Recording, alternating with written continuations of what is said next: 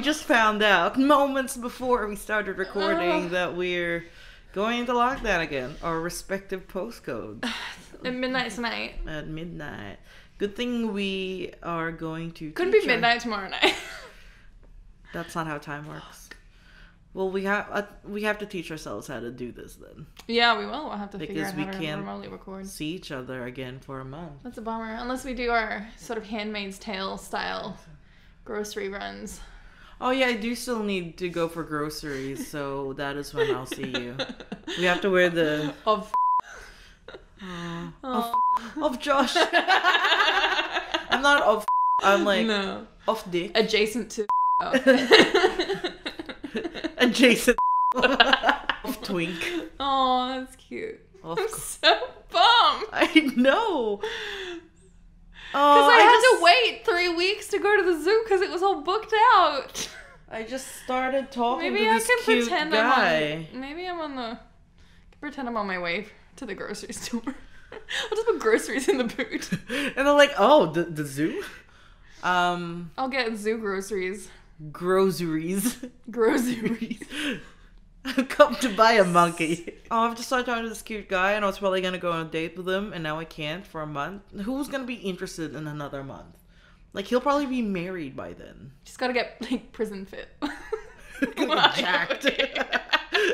I see him again. I'll have like a prison tab. It says mom. Maybe make them out of like a pen and a. oh. Should we? Yeah. Should we start? What are we doing? We're doing um, a podcast called Illiterature. Oh yeah, and I'm Sam, and you're Sandy. Here That's we correct. Yeah, and we're in season two, and today we're looking at. And today we're looking at um being in lockdown after this episode. Emma by Jane Austen, published in 1816. So Although some people say 1815. It was like December 1815. Yeah, it's clueless, it's clueless. basically. Or the new movie Emma, starring the girl from the Vivitch, which was so Vivitch was The so g- g- good. it was. God, I can't wait to watch it again. Like I, I like in a while, It. so you can forget it a little bit. No, I want to oh. watch it right now. Oh. Because I want to see. Because when you watch it for the first time, you're scared. So you don't really see all the Oh, details. so and the you wanna, second like, time, watch it I again. Want to see all the, mm-hmm. the stuff that I missed because I was busy going, "Ooh. Looking through your fingers. looking through my fingers, like focus pulling. We start Emma with an assessment of the titular character, Emma. Emma. She is, according to Jane Austen, handsome, clever, rich, with a comfortable home and a happy disposition, and had lived nearly 21 years in the world with very little to distress or vex her. Well, fucking good for her. well, la di da. Ah. She is sort of the lady of her father's estate, Hartfield. Her mother died when she was a baby, and her older sister's married and has left home. So it was just her and her dad there.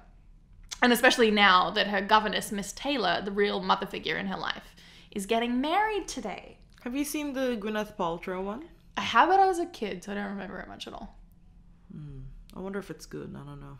All I know is she's she's in the cover and she's like archery, and I'm like, when's that gonna happen? Is that Princess Diaries two? yeah, it's not in the book, so. What? There's no archery in the book? no. That's weirdly. literally the DVD cover. uh, All right, so someone's getting married. You're a fickle. Yeah, her governess, her ex governess, is getting married. How much old? I'm guessing like a 26 year old. Wait, maybe 30? Maybe 30? doesn't work because if she was like five years old, then her The governess- would be like eight. An eight year old governess? now turn your page. and she's like, "You're eight. Um, Uh, yeah, let's say like early 30s, which is Yeah. pretty late in those times to, to get be married. married. Yeah, Yeah. it is. And she's actually marrying a widower. So they're both a bit older. His name is Mr. Weston, so she's going to be Mrs. Weston, which is what I'm going to be calling her for most of the story. Mrs. Western. Mrs. Weston. Who would we cast her as? Well, describe Oh. her to me. Um, Is she old maidy? she's just lovely and sensible and like Oh, lovely and sensible. Yeah, and in the maybe it's not intuitive, but in the film with Anya Taylor Joy, she's played by the woman who plays um, Asha Greyjoy in Game of Thrones. But she like does a really, really good job, and she's like just a perfectly lovely English woman, and not a evil Viking princess. She wasn't evil. Wow, cutthroat. Yeah, because she was a woman. Yeah, she's cool. I'm not saying she's not. I'm She just saying said- it was a departure. Evil. All right, so she is a sensible, gentle woman who's very patient with Emma, um, which you know is is hard, might be hard to do for someone else because Emma's a very strong-willed child who thinks a little too highly of herself. She's precocious. She's precocious. She's a little bit full of herself, um, but she's she's you know smart and Yeah, a- yeah yeah. she's Sh- Cher from Clueless. yeah she is. no one gets married in Clueless until the end. So is this? Are we starting at the end? Who's Paul Rudd? Does she Well- fuck her stepbrother? oh my goodness. Emma um, actually gives herself the credit of hooking Mr. and Mrs. Weston up. Oh. She reckons that she might have a gift for matchmaking, my which is fair enough because so far she has a 100% success rate. Did you write that? My yeah, I did. My grandfather was like, I have a 100% success rate for archery because apparently he only fired one arrow in his life and it hit the middle of the bullseye and he just put it down and never touched it again. Because he's like, why improve on perfection? I want to meet. Is this on your dad's side? yeah, he's Sounds dead, about right. unfortunately. He's dead. Yeah, he's died. That's a bummer. He when was like he die? 95 or something, 2014. He died, yeah. He was cool. He was the one from the show. He was the fighter pilot. The show that Sandy's talking about is this very great show called A Foreign Foreign Woman. Woman. Just Woman, one. singular. Um, which is, yeah, a cabaret I did a couple years ago. Anyway, I saw it like I think three or four times, and I cried every single time. I took like different people with me each time, and they cried too. that's always fun. Dayman. Okay. I just showed Sandy the um, Dayman Nightman song clip. And, From uh, It's Always in- Sunny. in Philadelphia. They're not in lockdown there. Maybe they should it. be. Oh my god. Her father, who's the sort of dotty old hypochondriac who always wants everything just so. Um, he's played by Bill Nighy in the movie, and he's perfect. I really want to watch he this movie steals now. the show. All right, we're Um, watching He's amazing right Um, now. Turn that off. We're just gonna watch. And you should too. um, no, he's super bummed that Mrs. Weston is leaving. Because he just wants to keep, you know, because he loves having people around um, to just do what he wants, but also to, you know, take care of him and give him attention. That's what his daughter's for. Well, yeah. So he's bummed that Mrs. Weston is leaving, but when he talks about it, he frames it like, poor Miss Taylor, she'll hate leaving us. Like, her life will be worse now that she's not with us constantly. I love knowing that Bill Nighy plays them. Yeah. That's all I'm picturing. um, yeah, but it's really just him hating change. As Mrs. Weston's life is hardly going to get worse now that she's off to live with the love of her life in her own house. Emma is comforting him that they'll see Mrs. Weston almost every day as they've only just moved down the road, oh. you know, but she's still pretty bummed herself. well, I guess she's too old for a governess now. 20, yeah, yeah. She, she, you know, you wouldn't get a replacement, I think, at that point. Yeah. While this is happening, their neighbor and Emma's brother-in-law, Mr. Knightley, pops by. Um, her big sister married his, I think, little brother, Brother, yeah, his brother. that's fine. so he's just got back from visiting the pair in London. He approves of Mrs. Weston's marriage to Mr. Weston, but chides Emma when she takes credit for the match. Well, she she did it apparently. Emma brushes him off, saying she's going to find the village rector a wife next. Um, the village rector's name is Mr. Elton. what a village? What now? Rector, um, pastor, Pasta. priest man, Oh, priest. Jesus speaker. the only the Jesus whisperer in town. the Jesus whisperer. Um, So, who is Mr. Weston, the man our favourite governess is marrying? Well, his first marriage was to a woman named Miss Churchill, who was higher class than him. They had a son, Frank, um, but what?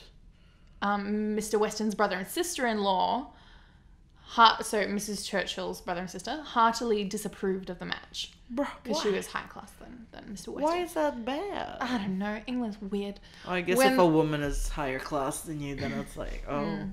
oh. And like, oh, he's trying to get their money, name. I don't know. Anyway, she died unfortunately What about after the three years of marriage, and Frank was taken by the brother and sister, the his uncles, What? uncle and aunt. Oh, Um, that's his baby. So his wife dies, and now they take away his baby. They take away his baby. I'm not- Great. it's possible, yeah, but to raise him as an heir, they could give him uh, fancy education. Um, Mr. Weston is left in the lurch money wise. I'm not sure if he spent all his money somehow. I'm not, or didn't get any of her inheritance or anything. But anyway, he spends the next 20 years of his life rebuilding his fortune. So he's doing fine now. And he eventually purchased a house named Randall's, where he and Mrs. Weston are now going to live. So unfortunately, he's a little bit estranged from his son Frank Churchill. All right, you with me so far? Hang on. To recap, uh, Mr. Weston had a classy broad for a wife, died Yeah. after three years. His son got taken away by his by the wife Brother and sister-in-law. Yep. Yeah, brother and sister in law, so he's estranged from that son. Mr. Weston is fine. He's still got a fortune. He just bought He built it back up. Yeah. After Build it back up. How old is the son now? 23. Oh, perfect Emma age. That's what Emma thinks as well. what? so apparently Frank has written a letter lately that indicates he's going to pay his father and his father's new bride a visit, right? Which is the respectful thing to do, by the way. How old is Mr. What's his face? Huh? How old is this Mr. Weston? Yeah. Like 40s, he reckons? Oh, I say older, with a 23-year-old son, Oh. late wow. 50s. Wouldn't you think? So he he's like 20 years older than his new wife. No, I, don't, I think I think. Oh well, yeah, yeah. She, she we decided she was like 30 or something, right? Yeah, this doesn't matter. I'm just It's fairly just- standard, I would say. who I back am. then. Yeah. Anyway, um, naturally, the village is abuzz with this, as everyone is very curious to see what kind of man this Frank Churchill is. It's Paul Bryan. One night, the Woodhouses throw a small dinner party. Um, Wood Mr. Wo- high. the Woodhigh. Mr. Woodhouse couldn't bear a big one. Just wouldn't wouldn't do.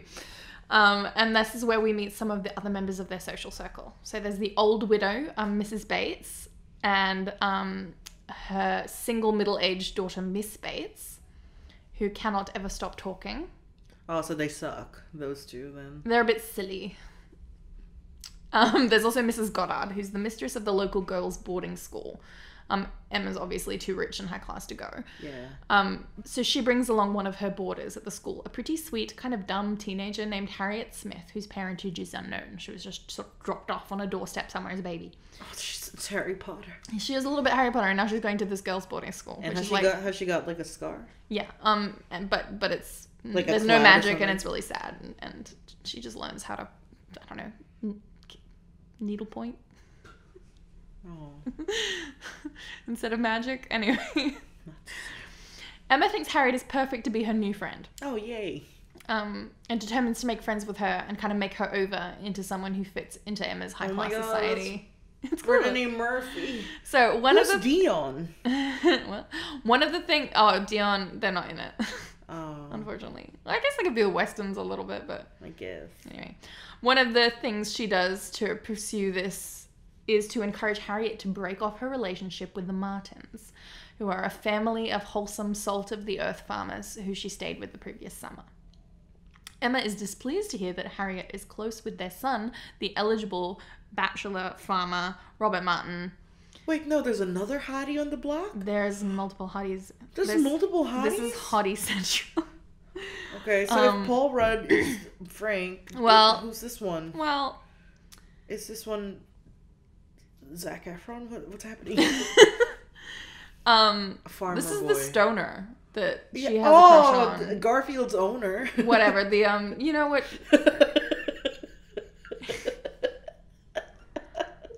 What? Doesn't Brittany Murphy have a crush on a stoner? Yeah, yeah, it's Garfield's owner. like in the live action Garfield. Really?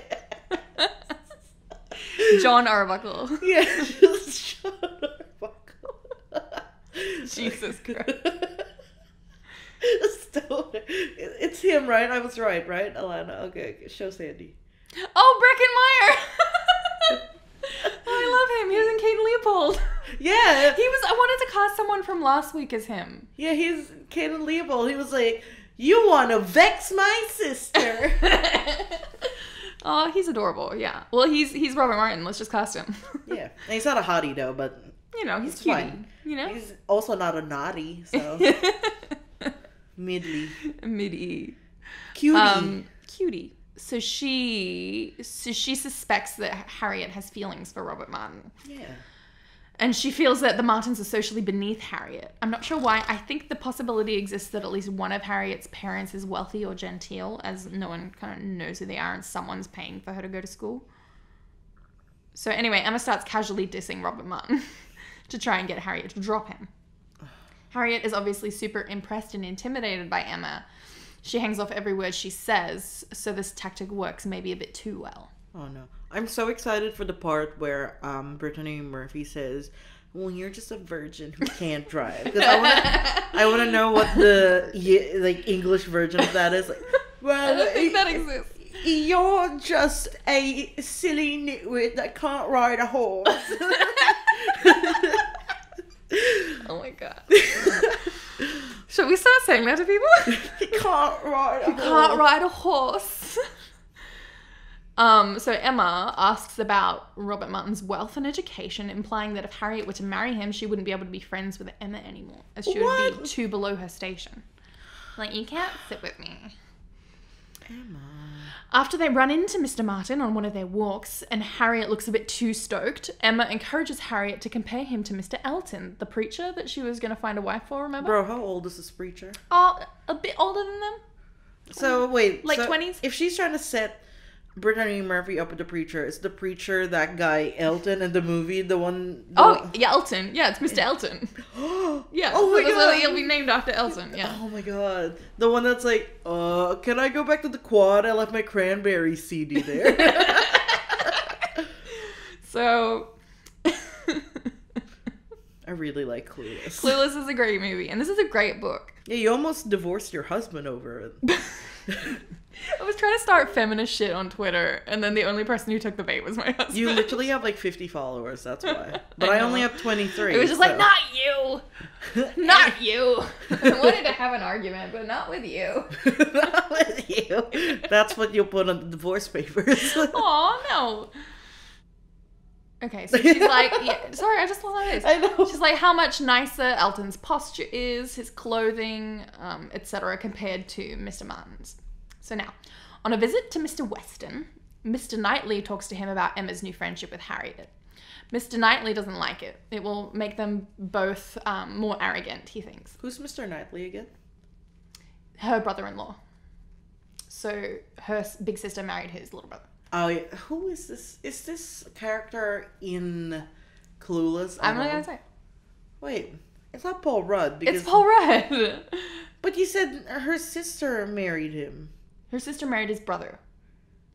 Their brother and sister-in-law. Oh, So I just, I don't, I don't understand much. Do you get it now, though? Yes. So his brother and her sister married living in London. okay, so it's not as incestuous as Clueless. Stepbrother. then. No, no, no. Yeah. It's yeah, it's brother-in-law. That's fine. Keep it in the family. yeah. But but the movie did try to make a point, like he wasn't really my brother because he wasn't really my dad's son. he he was he married the wife. We're not related by blood. It's fine. Yeah. So I think, yeah, in Jane Austen's time, you would have never had it be that edgy. This is as edgy as it would have gone. It's pretty edgy. Oh my god, yes, okay, Paul Rudd. Here we go. Mhm. So Knightley talks to, so his name's Knightley. Paul Ruddley. Yeah. Nightly Nightman. Fighter of the day, man. oh, so glad you're into it. It's your new favorite show after that one Uh, clip. I have known nothing about it except for that. You don't need it. any context for that show ever. So Mr. Knightley doesn't like that Emma and Harriet are now bosom buddies. Um, it'll make them both more arrogant. He Oh my thinks because Emma will like lap up the adoration and the attention, and Mm-hmm. then Harriet might grow, and this is a quote, just refined enough to be uncomfortable with those among whom birth and circumstance have placed her home. So she's gonna think herself better than Yeah. like she is. Well, he's not wrong. yeah. Because Emma's already saying dumb shit. Mr. Weston thinks he's talking shit. Um, he's like Emma will improve Harriet. She's already like teaching. Uh, um, Is this like like her? uh, the governess's husband? Yes. Why are they all friends? This is weird to me. The town is so small and there is no TV. I can't Oh. express there. Your neighbors are your TV. Remember? That's true. Yeah. Disturbia. Yeah. So Mr. Weston thinks he's talking shit. Um, he's like "E- Emma will improve Harriet's manners and everything. Um, and by teaching Harriet, um, Emma will be forced to learn more herself. So like she's even like started a book club or something for her, and they're gonna read classics and stuff to get to like improve their mind. So they're starting a podcast. mm, maybe Which one? of us is Emma. and I don't think it works. I don't think it fits. We're we're um Are we the stoner kids? Am I John Martin? The, are, are you Garfield? I am Paul Rudd. No. Yeah. fuck off. You're not Paul Rudd. fuck off. Fuck the fuck off. You're not Paul. Get out of here. Scram. Paul. Um, and then Niley says something really funny. He says something like, um, Emma's been planning to read more since she could read. Which I love. Um, anyway, they agree to disagree, noting Emma's declaration that she will never marry. Oh. Because she kind of doesn't have to. She'll That's- inherit her father's house. What? That's allowed? And yeah, he only had two daughters and one of them's married. Oh, yeah. So, oh, uh, So she'll just take care of him until he dies and she'll just be fine. He has like a fortune. So Because she- remember in P and P, Yeah. they, they couldn't. They, But their dad didn't have any money. And they weren't going to inherit the estate because it was entailed to the next male. And this one isn't entailed to the next male. No. What's so you can just do that. They could have just not done it. Yeah, but they did. So Well, I don't that's know why. Fucking stupid. Yeah, legal stuff. I think that, you know. Anyway, but yeah, Emma Emma's like, I'm fine, man. I don't. She is fine. Good yeah, she is. Just wait for Bill Nighy to die. Oh, good. Be sad though. I don't want Bill Nighy to die. Me neither. Neither, man. Nah, man. it's gonna be so much oh of this. my god, I'm sorry, Alana. Um. Uh, ah. no, yeah. So noting that um, she's declared she'll never marry and that she doesn't have very many suitable prospects anyway, Mr. Knightley comments that he should like to see Emma in love and in some doubt of a return. It would do her good. well, Paul Rudd's right here. now the gals with a Z have started hanging out on the reg with a G and inviting What else would it be? and inviting Mr. Elton over to hang with them. I don't know how that works back in that day, but he's there Yo, anyway. priest, Yo, you want to read some passages? well, it's... hang on, I'm adjusting.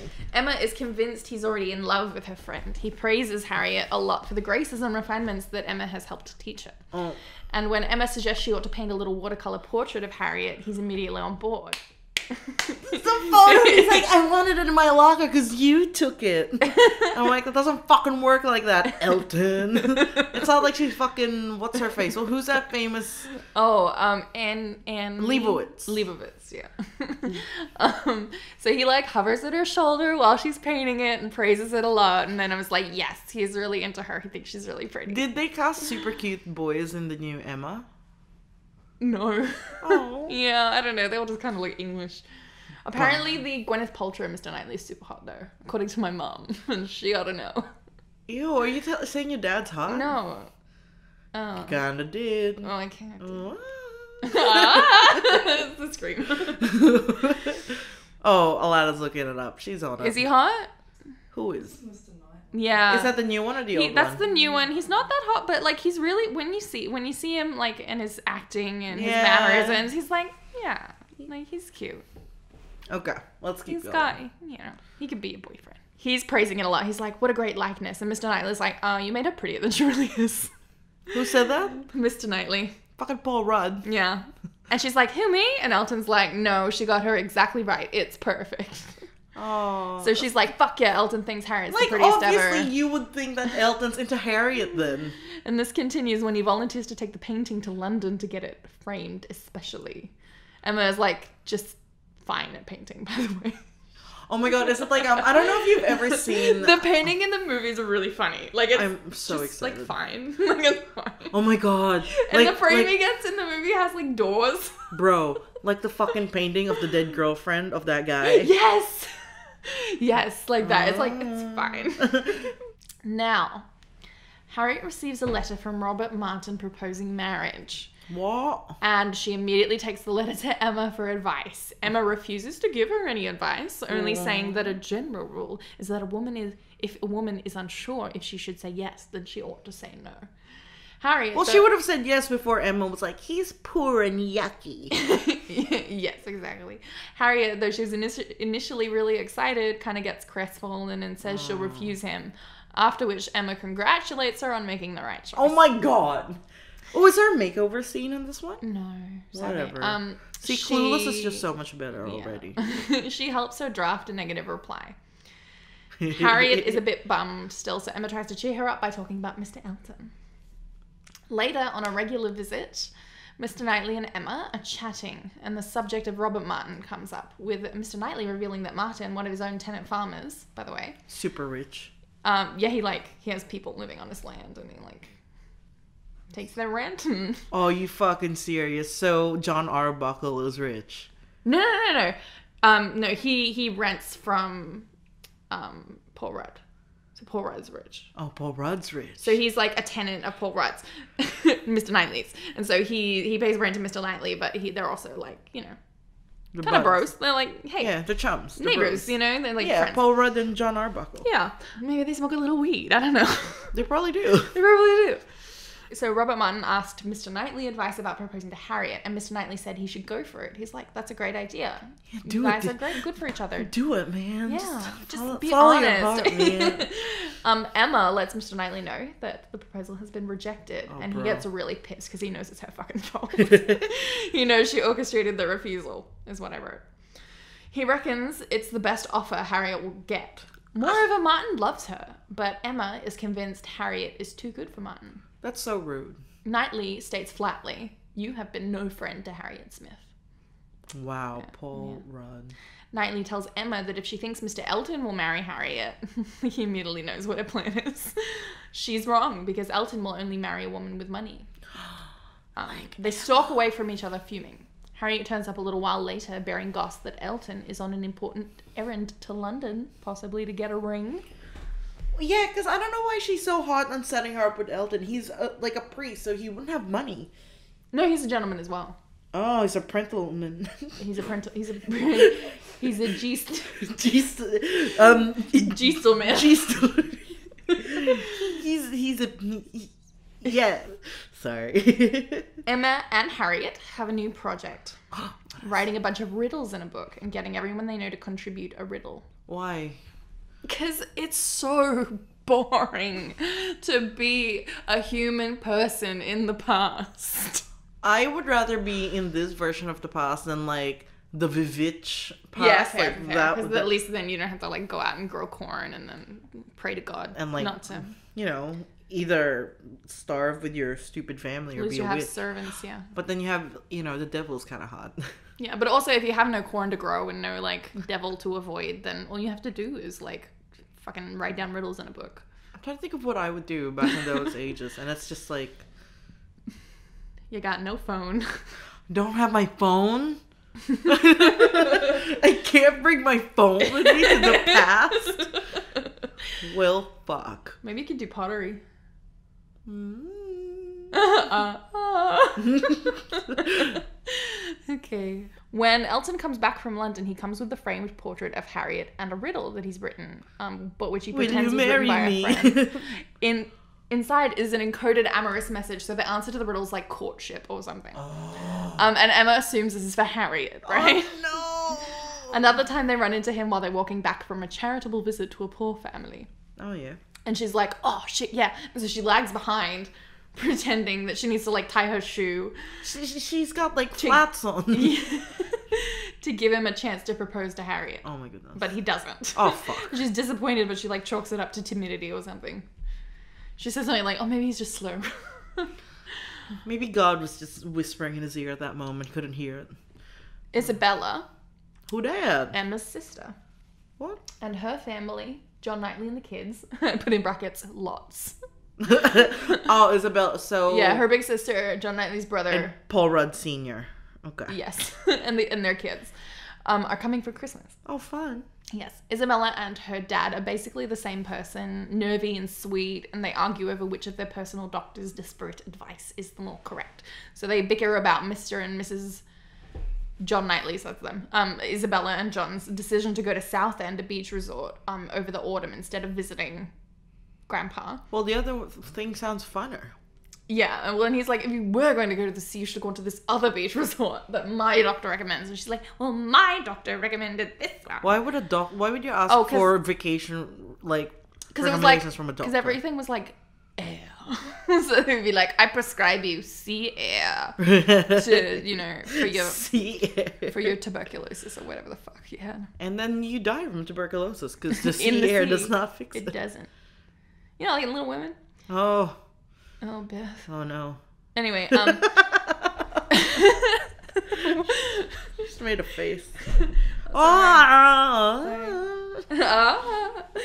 Mr. Woodhouse advocates the advice of his friend, Mr. Perry, who's an apothecary. All the while, Isabella maintains that her doctor, Mr. Wingfield, is more trustworthy, oh my god! etc. Eventually, Mr. John Knightley, so Isabella's husband, snaps that Perry should mind his own business. Who's Perry? Perry's the doctor Bill who's Nighy? not even there. Bill Oh. Nighy's doctor. Who was minding his own business. So Yeah, he was saying- literally just in he's- his own home, and then he He's said that, and he's like, "Ow!" He got like a chill. like, what? He's like cutting ham, and he's like, "Ugh." um, John is very sensible to the point of being curt, and Emma thinks he's a bit too stern with Isabella and her father. She's like, chill out. Miss Knightley comes over to hang with the fam. Um, oh, the his na- his first name's George. So there's John Knightley, who's her sister's husband, and then Okay. George Knightley's like her Mr. Knightley. Paul Rudd. Paul Rudd, Mm-hmm. and who who who came? Mrs. What? Mr. Knightley's come over. Oh, Paul Rudd. Okay. Paul Rudd's come over to hang with the fam. And they put their argument behind them um, about like Harriet and Martin. Um, and they agree to disagree. Mm-hmm. In a last jab, however, Knightley tells Emma how disappointed Martin was by Harriet's rejection of him. Well, duh. During the evening, you know, to make her feel bad, Well, yeah. during the evening, Isabella inquires about Jane Fairfax, the niece of Mrs. Bates. You remember the two annoying ladies, um, Mrs. Bates and her middle-aged daughter, Miss Bates. Yeah, the spinsters. Yeah, okay, so the niece of them, Jane Fairfax, um, who Isabella says would be a good companion for Emma. Like lesbians? No, like a friend. You guys should hang out, you'd be good friends. Um, apparently, people have been saying this Emma's whole life, as the two girls are like the same age, live in the same town, around the same social standing. Who's Isabella? Is it Dion? Oh, Jane Fairfax. Jane Sorry. Fairfax. Sorry. Okay. Who's Jane? Is Jane Dion? So, Jane is someone, not really. Jane is Oh. someone living in the town okay. Who everyone's saying she would get along with Emma really well because they're the same age, they live in the same town, they're around the same social standing. Okay. So. So Emma hates Jane, oh.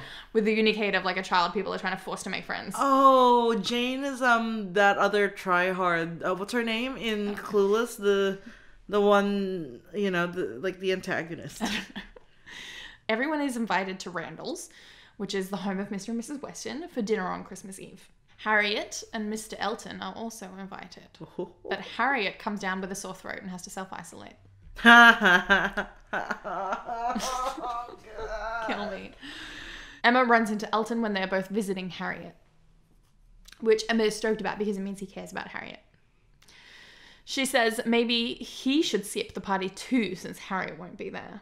I can't remember her pretext. Maybe he offhandedly said he wasn't feeling too hot or something, but he ignores her advice and comes anyway, which bothers her. She's like, Why do you want to come to the party if your crush isn't there? Cause that's not his crush, Emma. Um, Big Bro Knightley, Okay. Paul Paul Rudd Senior. yep, sees the exchange and suggests that Elton might have a crush on Emma. Yeah. Emma is like, yeah, right. it's very 90s of her. But Elton is too cheerful for her liking, considering that Harriet is sick at home. At the party, Elton hovers around her so much that she starts to worry Big Bro Knightley's suggestion is correct. Big Bro Knightley. I like that. Just to differentiate. Meanwhile, Yeah. everyone is just last names, and half of them have the same last names. It's fucking stupid, right? Yeah. Meanwhile, Mr. Weston announced Frank's going to be coming down in early January. Who the fuck is Frank? Frank Churchill, Mr. Weston's estranged son, 23. Oh. Wait, so that's not Paul Rudd then? I thought that would be Paul Rudd. Who's this? Who's Frank? Wait, let me think back to Clueless. The guy with the suit. What's his name? yeah, you know. Oh, the one turns out to be gay. Yeah. oh my god, the cool guy. The, Yeah, um, yeah. Like he's super into like the Rat Pack. yeah. Um, so he's going to be coming down in early January. Emma's keen. She's like half seriously thought about Frank Churchill becoming the new Mr. Emma. Though, though she doubts he'll be dreamy enough to give up her plan to stay single for her whole Oh, life. just you wait. But she's still curious, you know. Mrs. Weston confides in her ex student Emma that she's a bit nervous about meeting her new stepson and worries Mr. Churchill will, pro- uh, Mrs. Churchill, his um, his aunt, you know, the the one that raised him. sister-in-law, Yeah. yeah, um, will prevent him from coming. Mm. Um, she, she's apparently been ill since she could say so.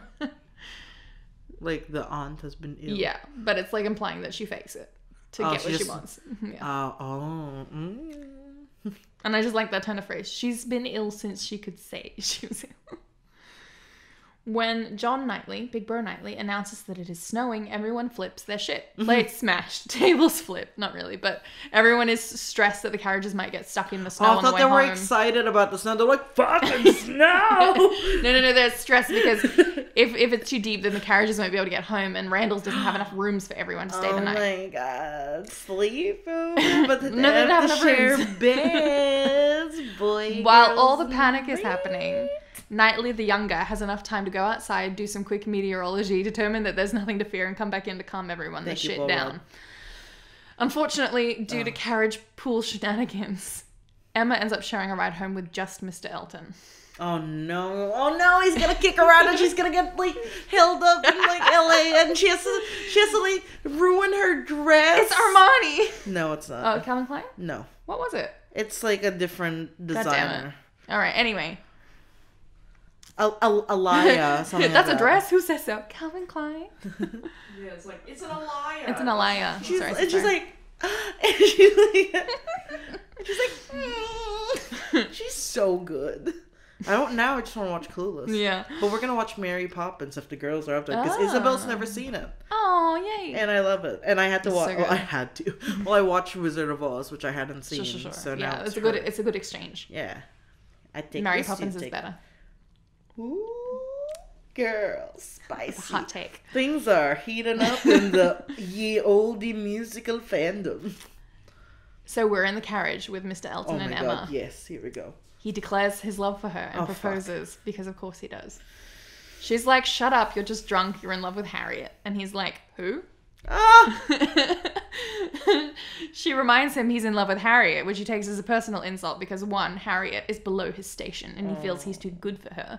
And Bro. two, he feels like Emma has been encouraging his attentions when this whole time she thought she was encouraging his attentions to Harriet.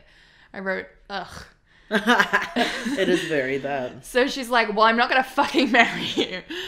And they travel the rest of the way home in angry silence. Oh no. I'm obviously paraphrasing, but Well, I'm glad he did throw her out into the yeah, cold. she doesn't get robbed. She doesn't get her Alaïa doesn't get ruined. Her Alaïa's fine.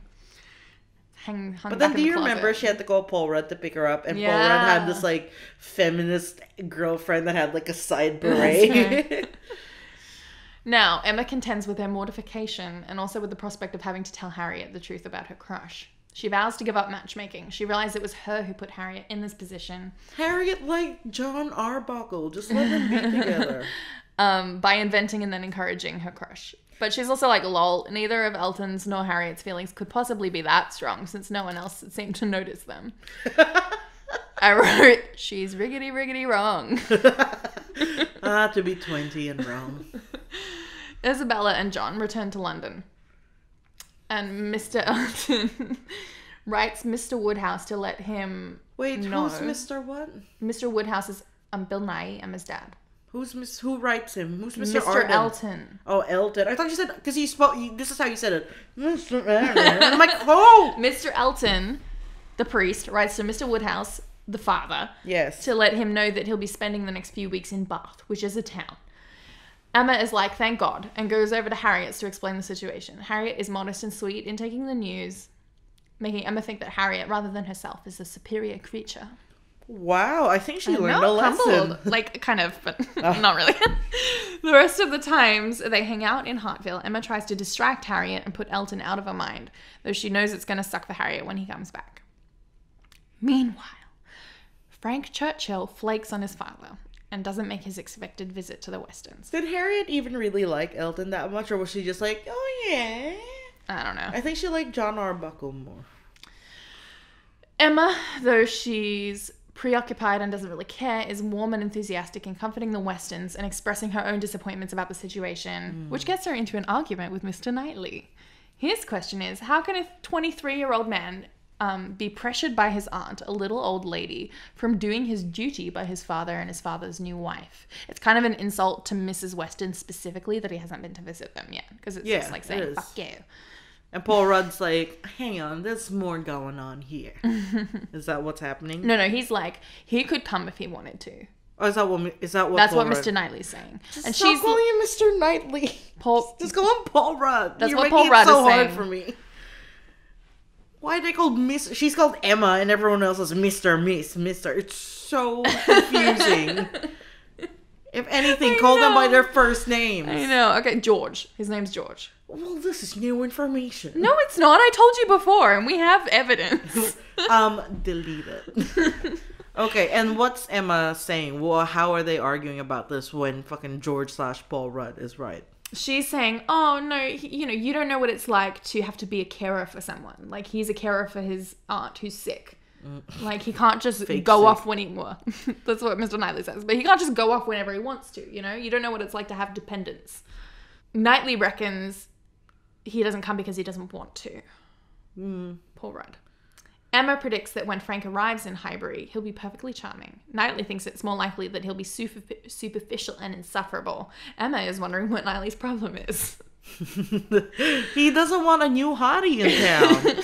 His hottie status is threatened. While walking along with Harriet one day, Emma has difficulty shifting her thoughts from Mr. Elton, shifting oh. Harriet's thoughts from Mr. Elton. So she suggests that they visit Mrs. and Miss Bates, a duty Emma usually hates because Miss Bates is soups annoying. Are these the spinsters? Yeah. Yeah. Dur- I think one's a widow. Yes. And the daughter's a spinster. Potato spinster, whatever.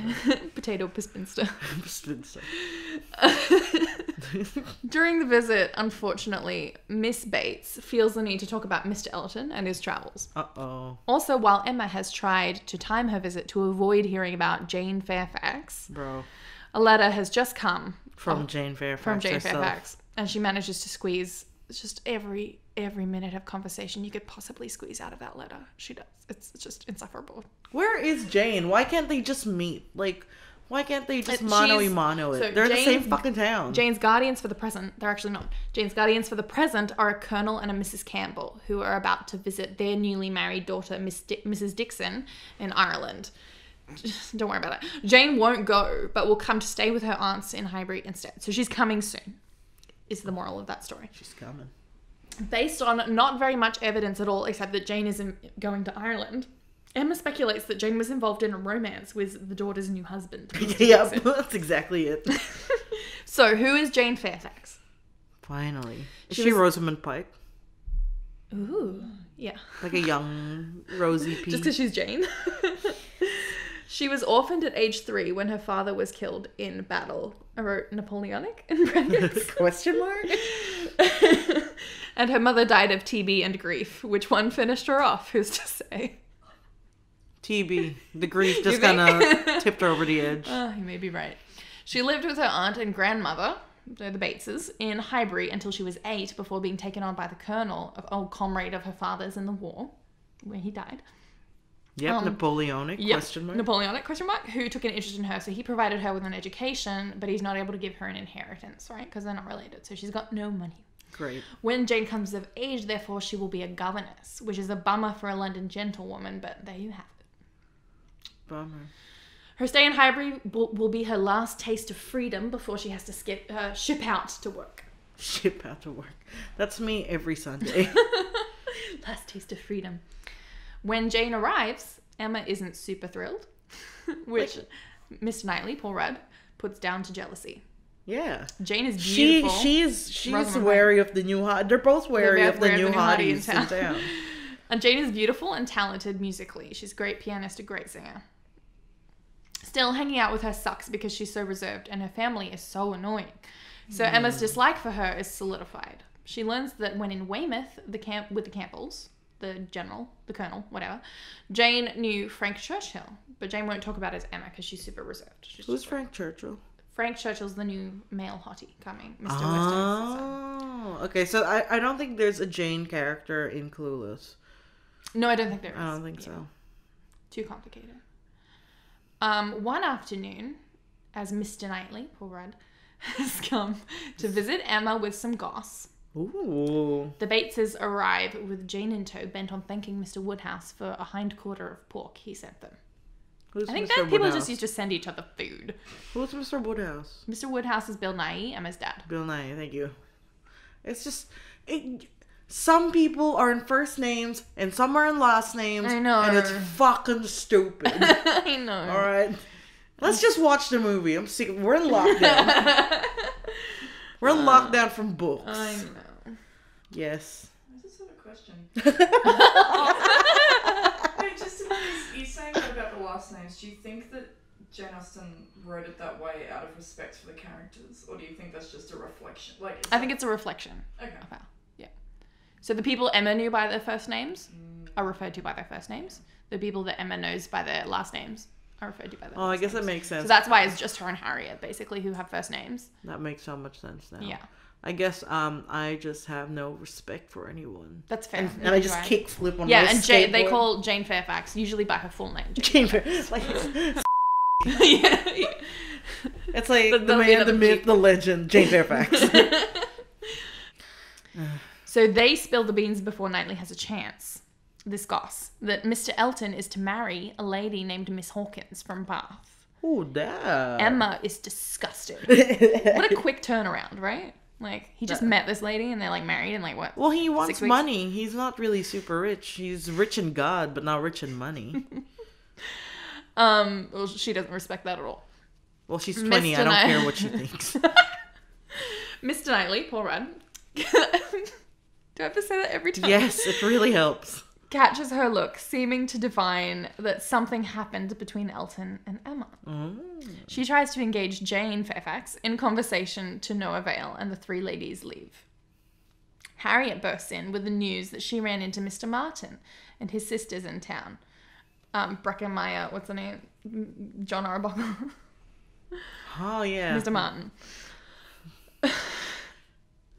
There's so many people. I know, I'm sorry. Why am I sorry? I, didn't I don't know. You didn't write this. Did Jane Austen just come through and was like, oh, I'm sorry. I'm sorry. I'm sorry. Not. That's her ghost. Just like Flipping two birds. kick flipping away with like sunnies on. Oh. She would. Oh, good for She her. would. Good for her. Um, she actually, when she was talking about this book, she was like, "I'm going to write a book with a heroine that none but myself will much like." Aw. Which I thought was so cute. So Jon Arbuckle and John Je- Arbuckle ran, and his and sisters Jenny ran Buckle are in into Tarn. yeah, Tarn. ran, turn ran into Brittany Murphy. Okay. Um, and though she was rather awkward and mortified, they were also nice to her. And Robert even gave her advice on like avoiding a flooded route home because it was Oh. Emma is mildly impressed by the Martins' good naturedness and has a "Am I wrong about them?" Yes. moment, and then she's like, "No, no, no, it can't possibly be." When does she have that moment where she um she goes shopping and she's really sad? She's like, maybe I am clueless. That's kind of this moment, but then she's like, "Nah." yeah, I know. That's what I was thinking. It is they that are the problem. so, in order to bring Harriet back to Earth, she tells her about Elton's impending marriage. Uh huh. There's great speculation in the village as to the character of Mr. Elton's fiancée. Mr. Elton returns to the village just long enough to let everyone know that his bride to be is beautiful, accomplished, and rich. Emma hopes that his marriage will ease the awkwardness of his return, but she has some bitchy thoughts about Miss Hawkins' inferior connections. Um, it's hard to coach Harriet through this time. The only thing that stops her fretting about Mr. Elton is fretting about Mr. Martin. Oh. Classic. One Yeah. of Mr. Martin's sisters leaves a note at Mrs. Goddard's, the school. She's at school. Yeah. Um, for Harriet, meaning that Harriet will have to go visit them according to the politeness rules. Oh, so she has to go see Jon Arbuckle and Co. Yes. Emma reckons Harriet should only go for a very short visit just to reinforce the distance, the new distance between herself and the family. Although she feels a little twinge of guilt, she's still certain that Harriet's too good for the Martins. Emma drops off Harriet and says she'll come back and pick her up in 15 minutes. It's a lovely emotional visit for Harriet at first, but when it's cut short, it's clear to everyone that the Martins have been insulted. Well, yeah, bro. Mm-hmm. Emma, fucking fuck off for one second. Emma is cheered up by a visit with the Westons, who bring the news that Frank is coming to Highbury at last. Finally. The following day, she runs into him unexpectedly as he arrives and is pleased to find he's good looking, bright, charming, kind of dressed like dresses like Frank. Hang on, is he gay in this too? Because is that allowed back no, no, then? no, he's not gay in this. Oh, what else? Um, he dre- what was I gonna say? He dresses like Frank Sinatra. Yeah, she bumps into the new hottie in town. Yeah, yeah, yeah, yeah, yeah. He seems to have the right compliment for everyone, especially Mrs. Weston, which is very important to Emma. And I can see that Mr. Weston hopes that she and Frank will hook up. Um, and she wonders if Frank has thought about it at all. When his father leaves on an errand, he also leaves to pay a visit to Jane Fairfax, who you recall he met at Weymouth. Yeah, Oh, and. Jane didn't want to talk about it because she's all proper and boring. yes. So Frank Churchill, new Hardy, and Mrs. Weston, um, former governess, visit Hartfield, Emma's house, the next day. He's lovely and charming, especially to his new stepmom, and is interested in learning everything about Highbury that the locals know. So they walk around the village, and when they come across an unused ballroom, he suggests that they should organise a dance, and dismisses Emma's qualms about the lack of worthy families to fill out such an event. Fucking hell, Emma. Emma inquires about his visit to Jane and the Bateses, and the two share impressions of Jane. He says she's unattractive and reserved, which Emma is a bit stoked about. Um, he admits that she is talented, though, and admits um, they hung out a fair bit in Weymouth, so he knows her a little bit. but she's not cute though, right? Well, he's like, eh, He's like, she's plain. she's plain, kind of quiet. You know, they're like, you know, bitching. Well, he's like a new gay best friend, except they're like, might get married, you know? You just bitch So he's together. not actually, he's not gay in this one. No, he's not. Because that's, Not allowed. you get your You get sent to jail. Oscar would. Wilde style. Oscar Wilde style. So, Emma shares her theory ill-advisedly about Mr. Dixon and Jane. Remember how she was like, oh, maybe she had a thing with the husband of her Yeah, friend. she's stirring shit. Yeah, she's stirring shit. Um, Frank resists the idea at first, but then gives in to Emma's better knowledge of Jane. then he's like, no, but me. Tell me more. um, Emma decides she likes Frank even more than she expected to. He's not so proud as she feared and every bit as warm as his father. He's like fun, you know? Yeah, he's fun. He's fun. The Oh only no, where's Paul Rudd? the only thing that kind of hurts her image of him is when he makes a day trip all the way to London for the reason only of getting a haircut. Are you fucking kidding Kind me? of like you going to just for a haircut, no right? Oh, maybe because I've been going to the same hairdressers for like five years and I believe in brand loyalty. You. Whoa. We're gonna have to write this one as explicit. we still have to put that in. you redacted. you. Dayman. Well, ah. I'm not That's gonna- what it should be. Every time we have to bleep something out, just be like, oh. Fighter of the night, man. Okay, Emma is still intent on remaining single, but she likes Frank enough to not mind being associated with him by other people. All right, all right. Mr. Knightley also rains on Emma's parade, saying Frank is a silly young man, just as he had predicted. Paul Rudd. Here he is. An invitation to a dinner party by the Coleses. Successful tradespeople. I don't know, maybe they own a supermarket.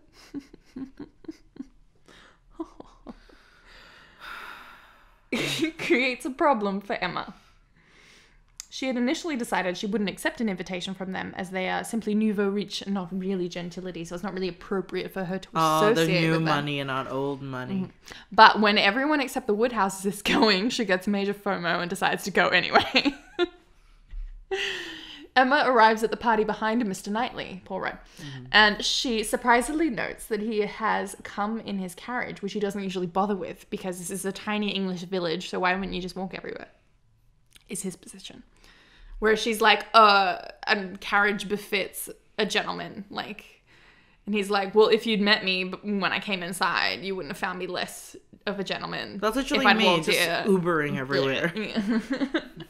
Anyway, um, At dinner, Emma learns that Jane has received a mysterious gift a piano. People assume it's from Colonel Campbell, you know, her old sort of Yeah. guardian, but Emma speculates that it's from Mr. Dixon. Oh my god, where did she even get this? I don't even know. her. she was just like, I hate her. She's a home wrecker. That's what she is. when Jane arrives later and is questioned about the piano, she blushes. Meanwhile, Mr. Weston tells Emma that the only reason Mr. Knightley brought the carriage was so that he could give Jane a lift home. Uh oh. Mrs. Weston suggests that Knightley and Jane may have a thing. He certainly could afford the piano, but Emma's like, "What? No. Oh my no. God, she's gonna be no, no, no, no, no, Certainly not. No, nope, no, no." Shut- no, you Ha, have been ha, stopped. ha. I wrote that all out. Even the ha ha ha. No.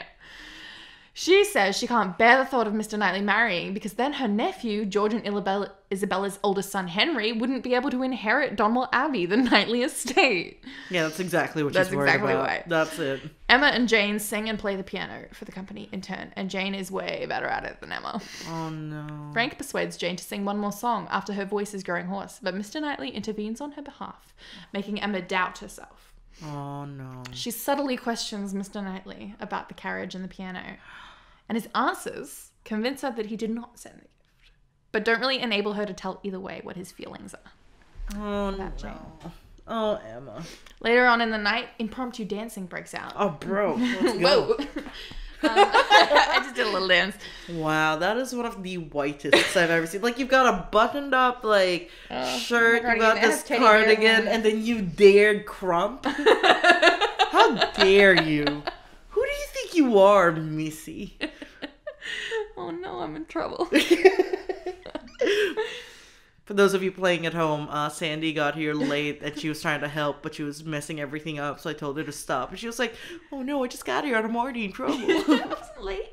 You guys, you guys have just gotten back. You're a liar. well, Your pie hole is a lie hole. well, you're in trouble. oh no. Your body's a trouble body. Okay, so she's relieved he doesn't ask Jane to dance. Knightley doesn't ask Jane to dance, and is pleased that Frank immediately asks her. Nice.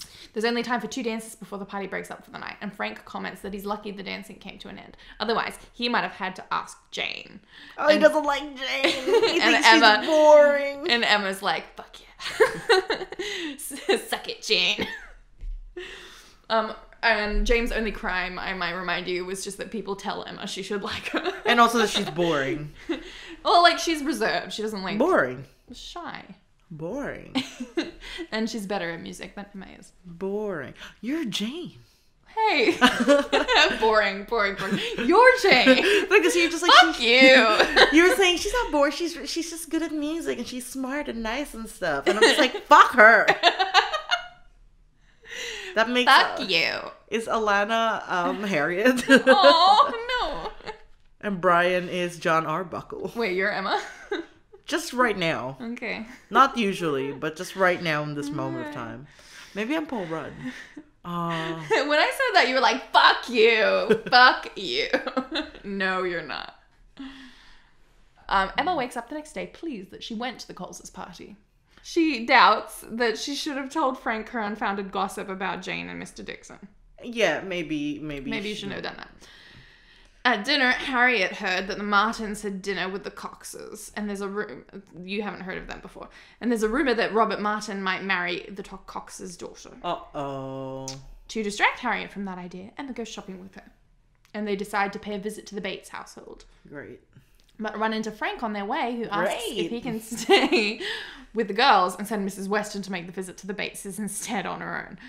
Emma insists he go, knowing he'll visit her later in Hartfield anyway. Then Mrs. Bates comes into the shop to ask Emma to give her opinion of Jane's new piano. Piano. In her rambling, she reveals that Mr. Knightley sent his last apples of the season to Jane because she's particularly fond of them. But my apples. And Emma and ourselves get to play the game of in love or just a good guy. oh my god, right? Is he flirting with me or is he just not rude? Uh, Emma arrives at the Bateses to find Frank there already fixing Mrs. Bates' glasses. That's nice. Yeah. And Jane is seated at the piano. Fuck you. no, you hate Jane too. She's so She's so perfect.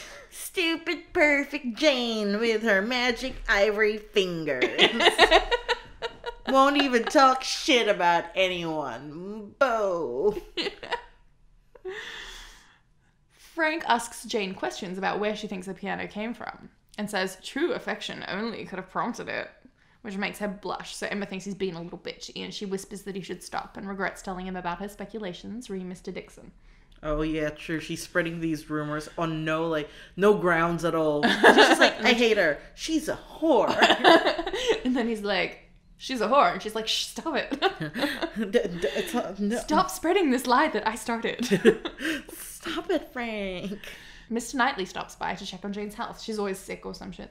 of course she is. he has a shouted conversation on horseback through the window with Miss Bates, but he can't be invited inside once he realizes Frank is in there because he can't stand him.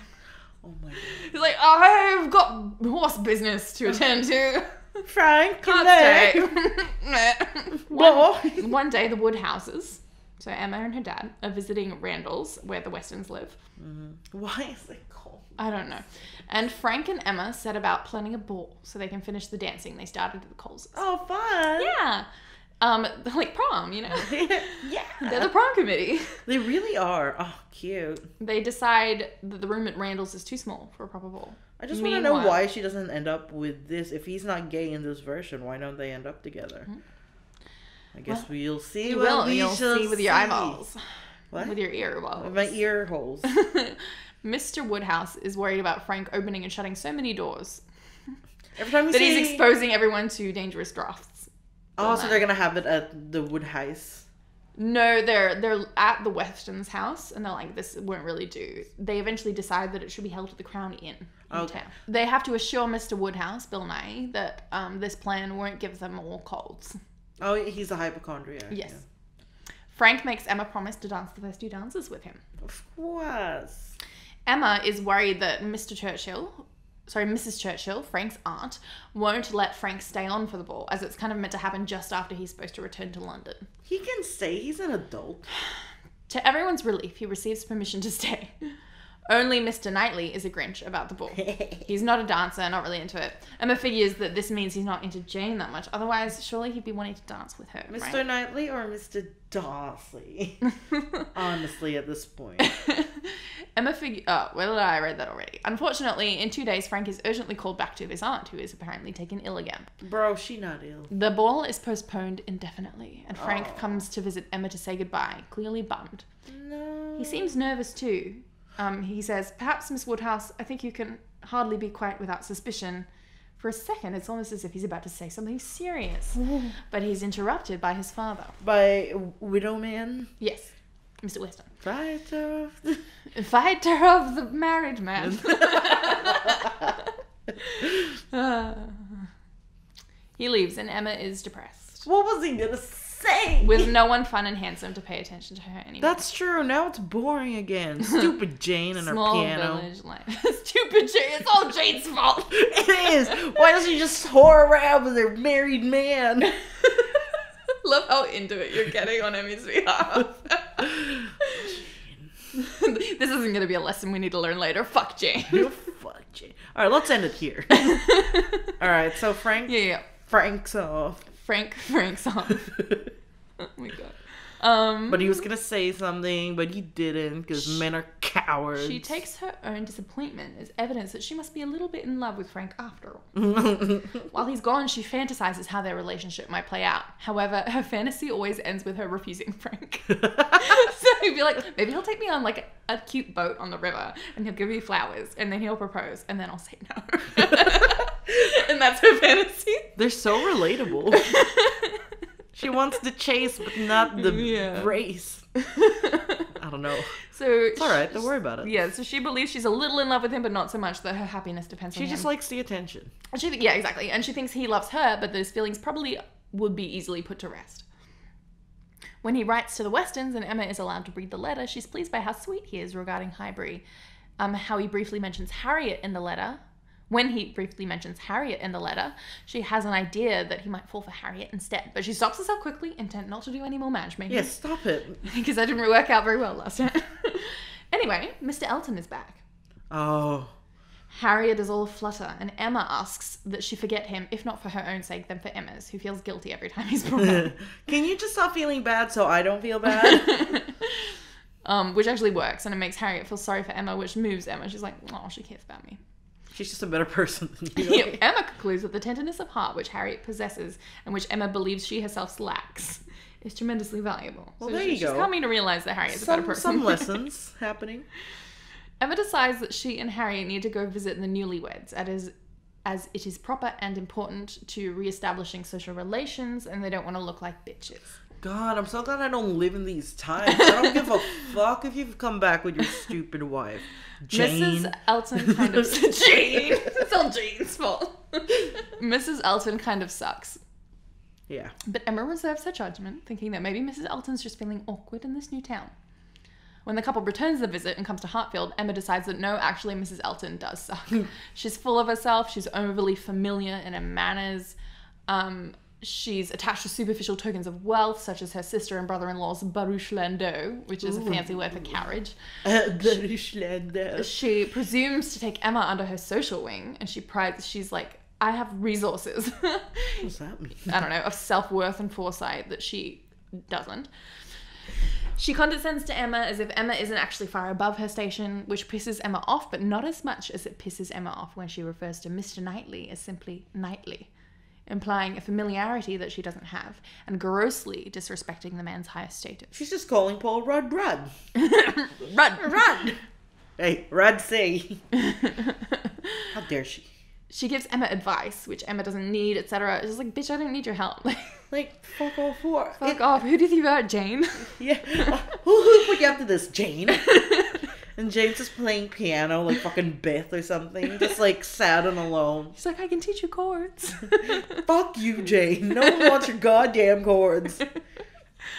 Um, You're Mr. Jane. Woodhouse doesn't understand why Emma is so pissed when he suggests that a bride, you know, my dear, is always the first in company, and that a bride should receive the utmost politeness and good manners.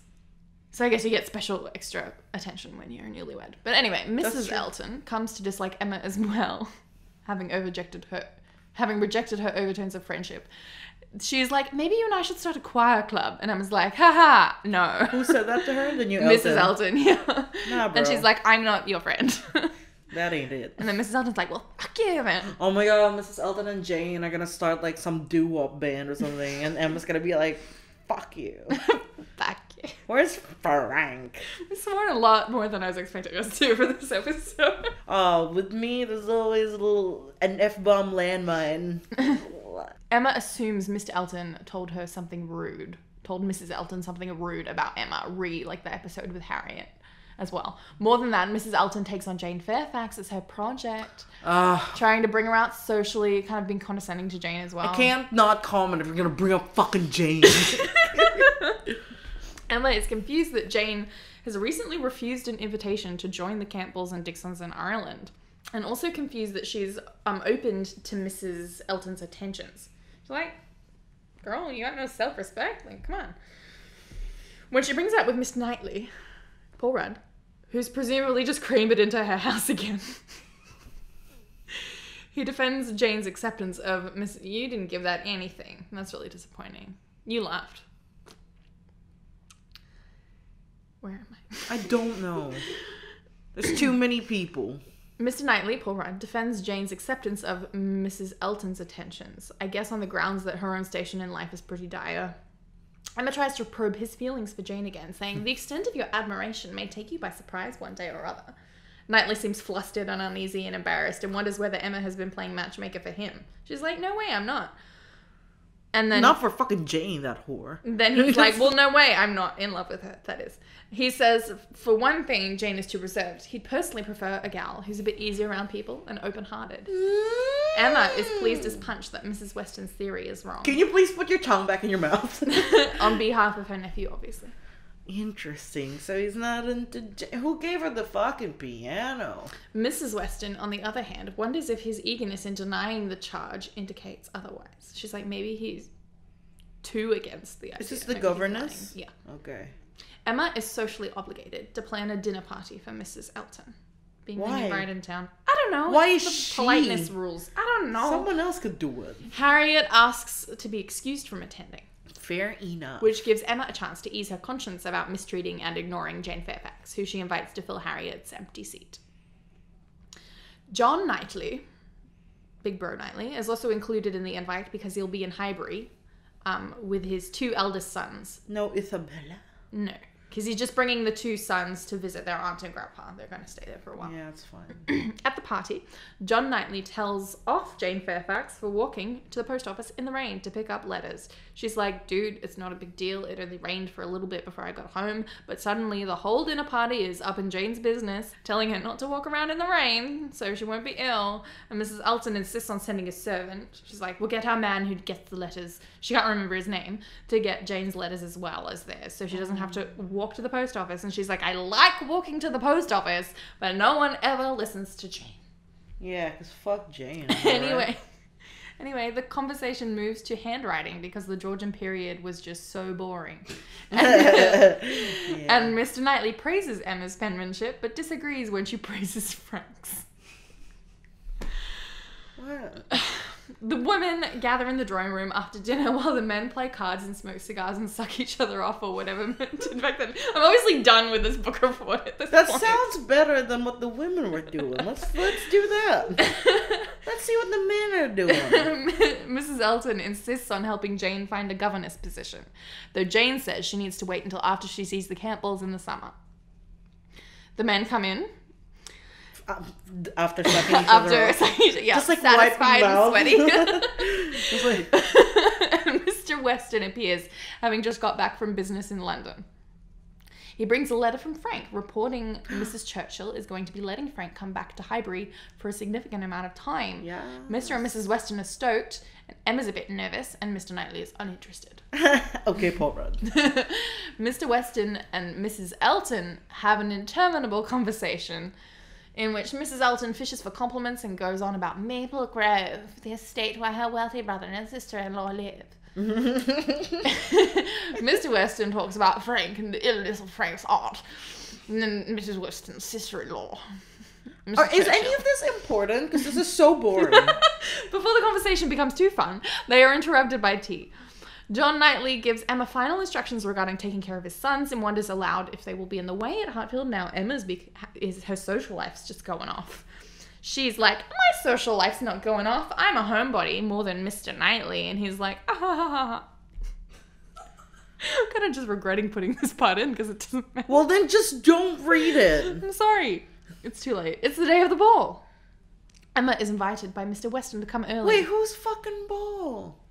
The ball that they all planned together. Officially, I think Mr. Weston's running it though. Yeah, you didn't. You didn't bring that the fuck up. Well, remember they were planning it in Randalls. Her and like, the, yeah, the room's too small. We'll put it in the crown and it's that ball. Okay. Emma is invited by Mr. Weston to come early and give her opinion on the arrangements. She thinks this will give her some privacy for her second meeting with Frank. However, she didn't count on being only one of several people who's been invited early That sucks. to give opinions. She remarks that half the guests seem to be here early to give opinions. Frank seems excited but restless and he's constantly moving to see who's arrived. He's kind of like staring at the door. When Jane and Mrs. Bates arrives, or Miss Bates, he helps him with the umbrellas and sets settles down. Mrs. Alana, Elton, can you be? Uh, can you have a more neutral face?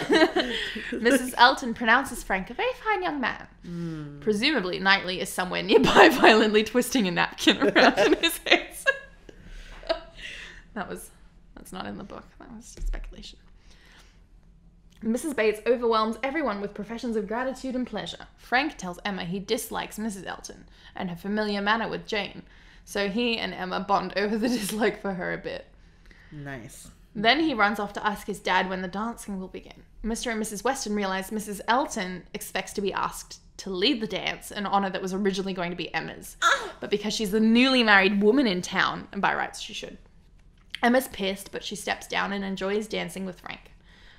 The only thing that mars the fun of the ball, it's a very fun ball, top notch, 10 out of 10, is Emma sees Harriet sitting down by herself. Oh.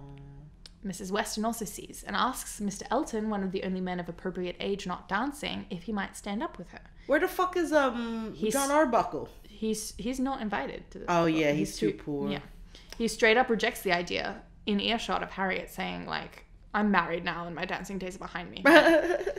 Another person sees the this. fuck is Paul Rudd? Why doesn't he ask her? Another person Paul sees Rudd? this from across the room. Paul Rudd. Paul Rudd, Mr. Knightley. He goes over to Harriet and dances with her. Good. You remember this from Clueless?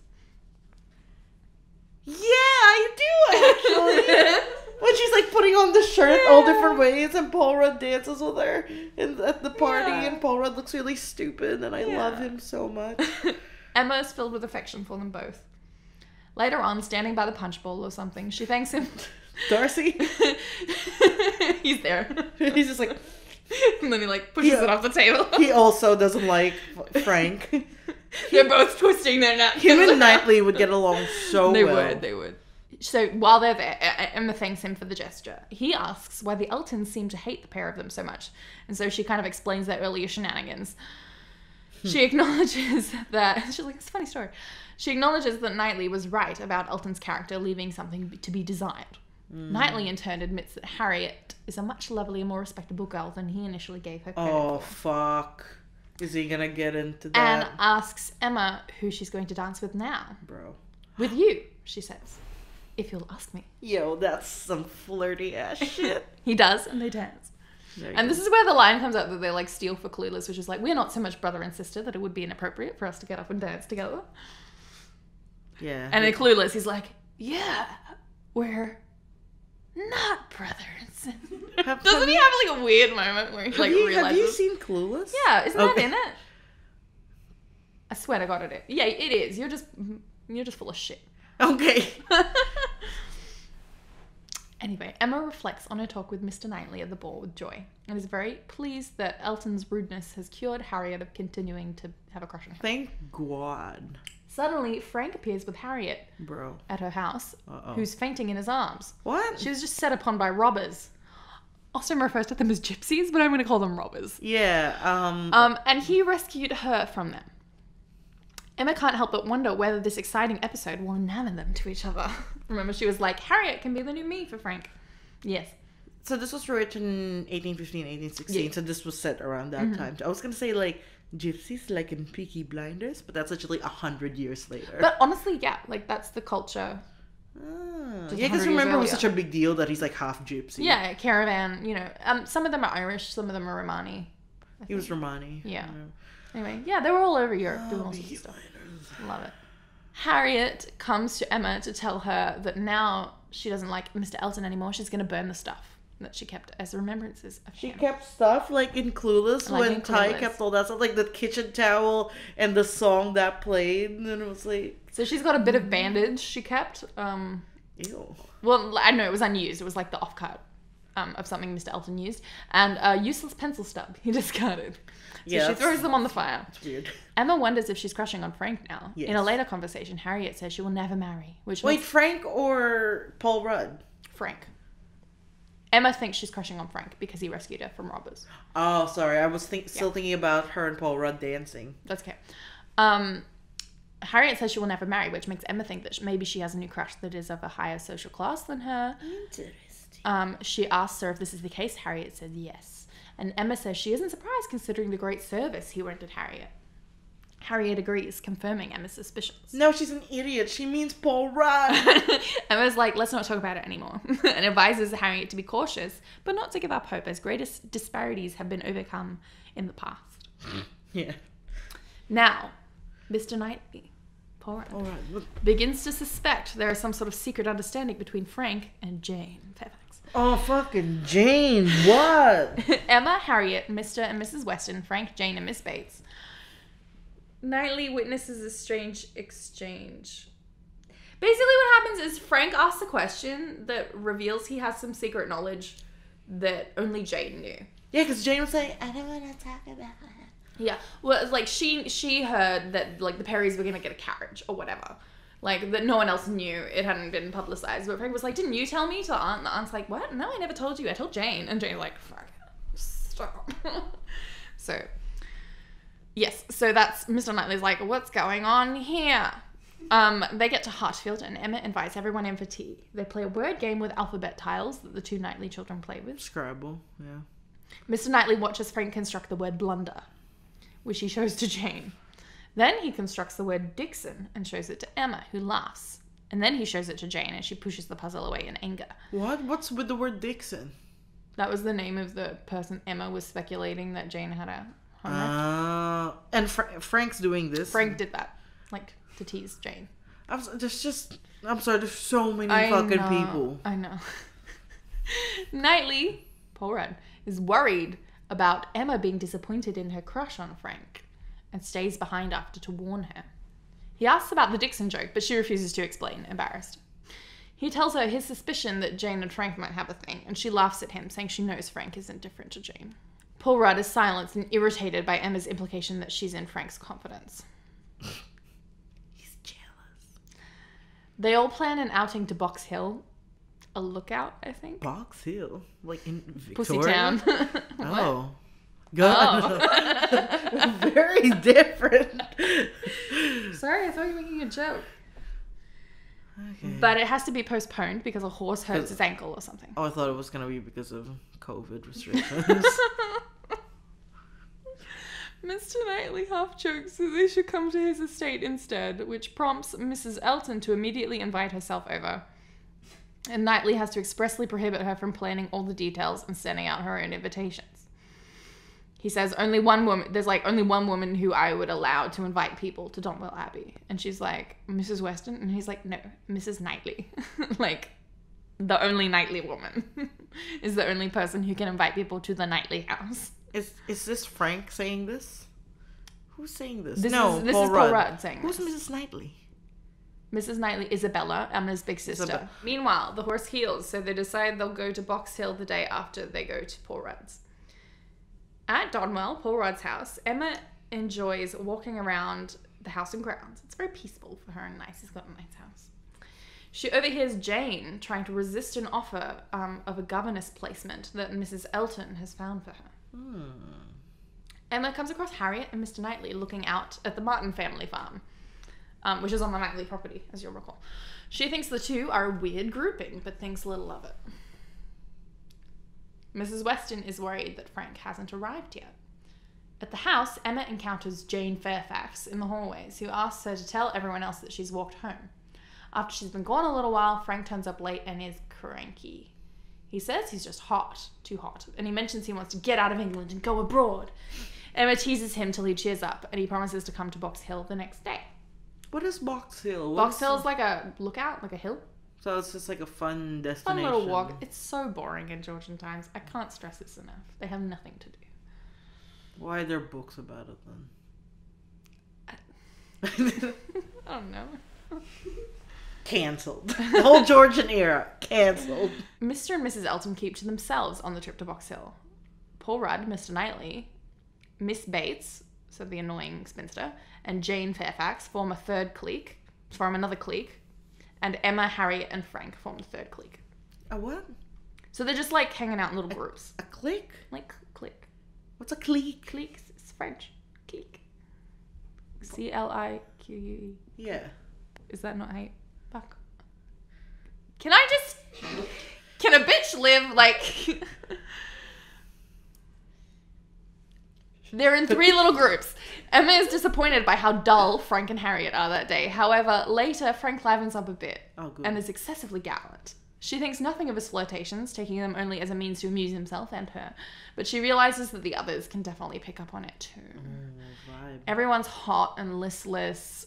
Um, it's summer, they're outside. Frank tries to liven up the party by saying that Emma demands to know what they're all thinking. What? Mrs. Elton, he's like, "Mm, Emma wants to know what you're all thinking. She's like, no, I'm not. Stop it. Ha. and he's like, ha. And everyone's like, fuck off. Mrs. Elton is offended yeah. Sure. by Frank's deference to Emma, and Mr. Knightley, Paul Rudd, asks dryly if she would really like to know what he's thinking. Yes. Presumably, like, knock off the flirting, you abominable tart, or something like that. Well, what is it? What are you thinking? He doesn't say. She doesn't ask. Frank take, uh, changes tack, now demanding a piece of wit from every member of the party, demanding one thing very clever, or two things moderately clever, or three things very dull indeed. Oh, ooh, okay. What about for nothing? Miss Bates, good naturedly, comment, the old spinster, comments that she will have no trouble thinking of three very dull things. oh, and Emma responds, Ah, ma'am, but there may be a difficulty. Pardon me, but you will be limited as to number. Only three at once. So, burn.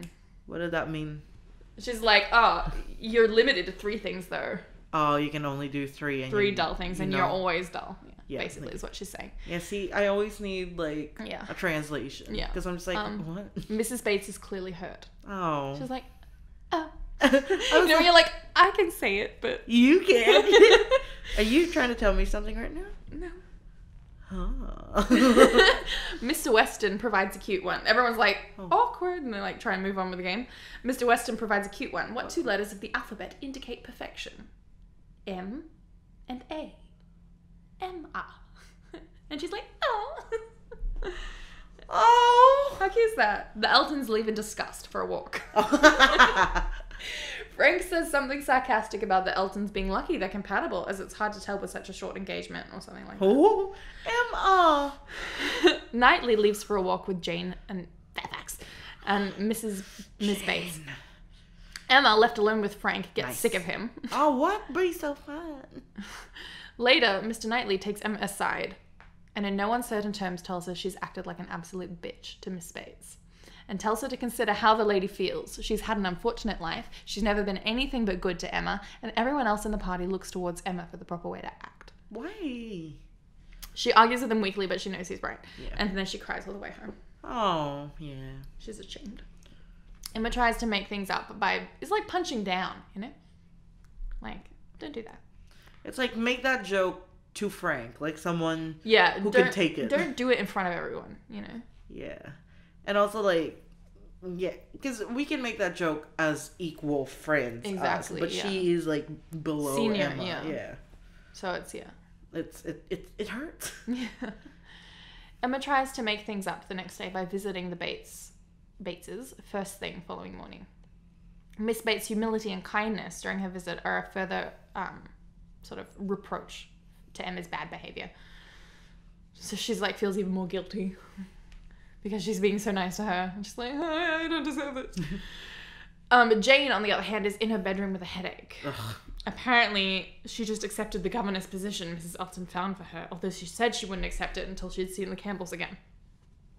Emma surprised and genuinely, genuinely concerned for all the unhappiness Jane going away will cause. She's leaving in a fortnight. Emma is surprised that Frank left for Richmond the previous evening, and she's struck by the difference between Mrs. Churchill's power and Jane's. You know, Churchill can make anyone do anything, and Jane kind of just has to go where she's told. Just Poor Jane Fairfax. ugh, don't even try. You're like, nah, fuck her. um, she's ashamed of her earlier gossip about Jane and Mr. Dixon, and Well, she feels should like be. she, yeah, and she feels like she wants to make it up to Jane. When Emma gets back to Hartfield, she realizes both Mr. Knightley, poor Rudd, and Harriet arrived while she was out. Knightley, poor Rudd, is about to depart for London to see John and Isabella. They're Fun. Yeah. yeah. Um, his hastiness surprised Emma. It's like he's trying to avoid talking to her before he leaves. But Mid- Mr. Woodhouse, Bill Nighy, her dad, lets it slip that Emma has just gone to visit the Bateses. Oh. And Emma blushes and exchanges a glance with Knightley, who immediately softens towards her, Ah. realizing that she's gone to make amends for her. Unless she went there to insult her even more. Yeah, like, fuck you. Fuck yeah, you're wrong. pees on the stoop. Uh, um, he makes an unusual gesture for him. what is it? Does he kiss her on the forehead? He takes her hand and raises it, almost kissing it, before looking like he's decided the better of it and like releasing her hand. Stop. oh no, the sexual She's gratified by the gesture, though a bit confused as to why he aborted it halfway through.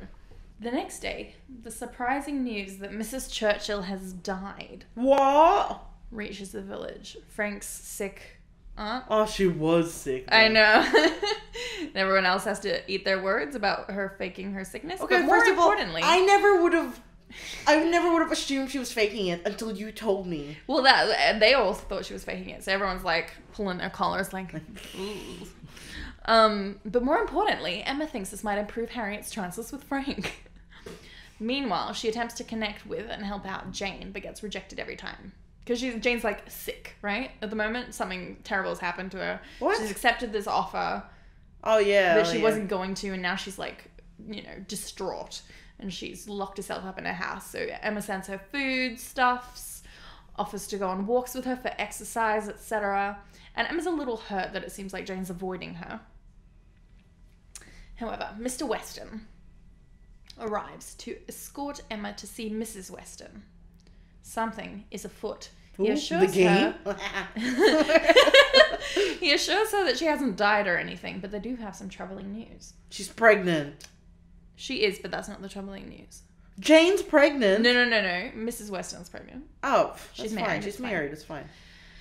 Um, troubling news. When she gets to their house, Mrs. Weston reveals that Frank has been secretly engaged to Jane Fairfax this whole time.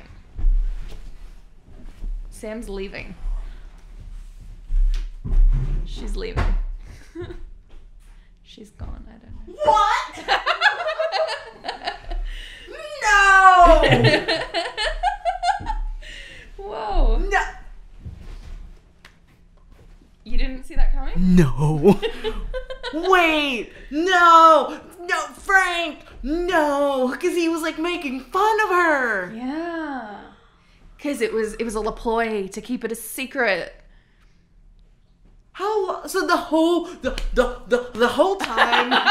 The whole time. You're so pissed. I'm Sally Field and um, Mrs. Doubtfire. The whole time. Because Frank was like, oh yeah, fuck that bitch. but he was saying fucking shit I about was her. faking it to keep it a secret. My heart is racing. like, feel my. Oh my god. Oh my god.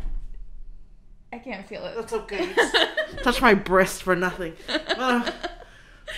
Uh, Uh, no. Yes. I did not see that coming.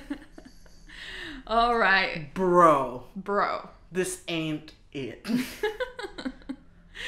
Emma is shocked. Oh, really? Why? How come? Um, and all of the bitchy things she said about Jane to Frank flashed before her eyes. Yes, that's what I was saying. But she assures them that she wasn't in love with him as they thought she was and were worried she was. And she isn't hurt by this. She is worried about Harriet's feelings. She's like, fuck, not again. She's just gotta stop trying to help Harriet. yep. She is a bit pissed about the way he acted towards Jane and herself while Yeah. he was down. But he's apparently going to be sending a long letter soon explaining himself. Fuck off. Apparently, Mr. Churchill has chilled out since his wife's death and has given his consent to the match, so it's happening in that Nah, bro. Just, nah. So now to Harriet. She now thinks that she should have discouraged Harriet's crush on Frank rather than giving her hope. She also realizes that Jane has been avoiding her this whole time because she's seen Emma as a rival for Frank's affections.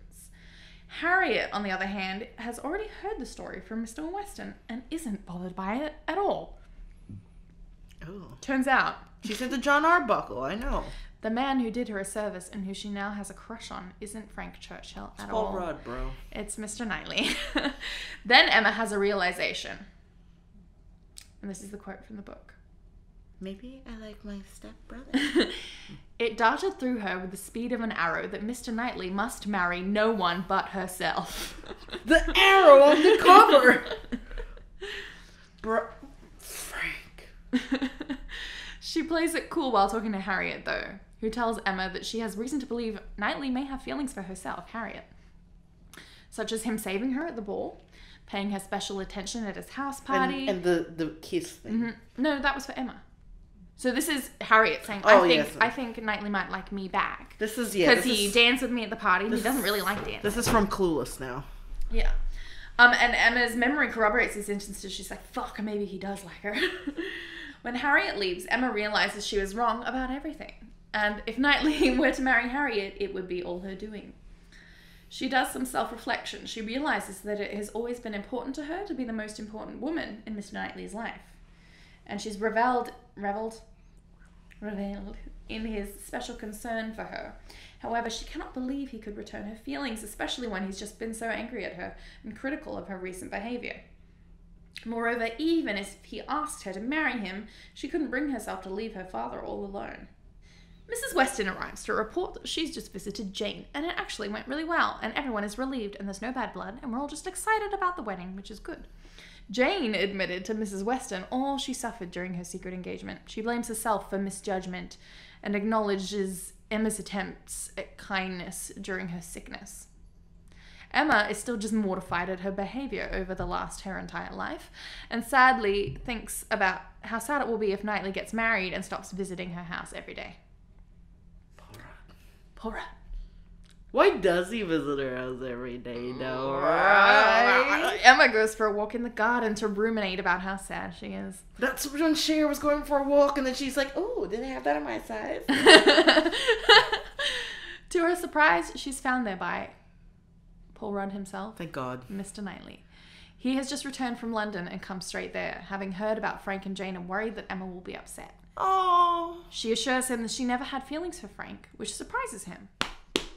She expresses regret about her behavior and he listens in a strange silence. Finally, he admits he may have underrated Frank and admits to envying him in one respect. because Emma paid attention. did he go to London the way Super worried that Knightley is about to admit his feelings for Harriet, Emma begs him not to talk about it, which shuts him right up, Fuck. and he seems mortified. Guys.